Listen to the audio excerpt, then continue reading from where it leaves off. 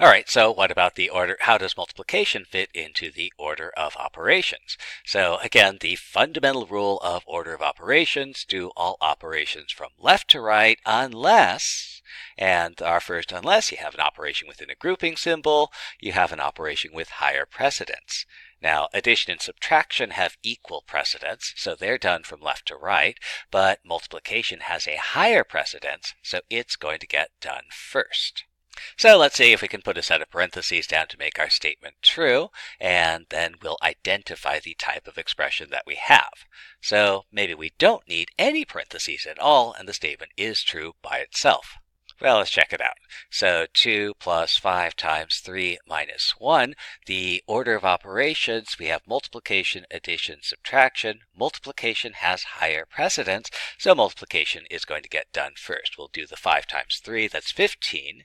And then we have addition and subtraction. They're equiprecedent, so they are evaluated from left to right. 2 plus 15 is 17 minus 1 is 16, and that's not what we want. So we do need parentheses someplace. Now, again, since multiplication takes precedence over plus and subtract, nothing would change if I threw parentheses around the 5 times 3. It would the parentheses would say do this first, but we'd have to do that first anyway. So let's try throwing parentheses around the 2 plus 5 and see if that changes, see what that changes. So that's 2 plus 5 times 3 minus 1. Parentheses say do the stuff inside first. Multiplication and subtraction. Multiplication gets done first, and then we do the subtraction. Still not what we want. So maybe we'll throw those parentheses around the 3 minus 1. So parentheses get done first multiplication and addition. Multiplication gets done first, then we do the addition. Still not what we want. So since placing one set of parentheses didn't work, we should see if placing two sets of parentheses works.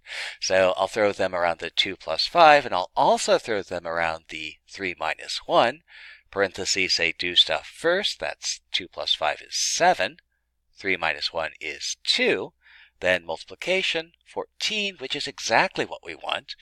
And we can identify the expression by the last thing we did. The last thing we did is multiply. So this expression is a multiplication.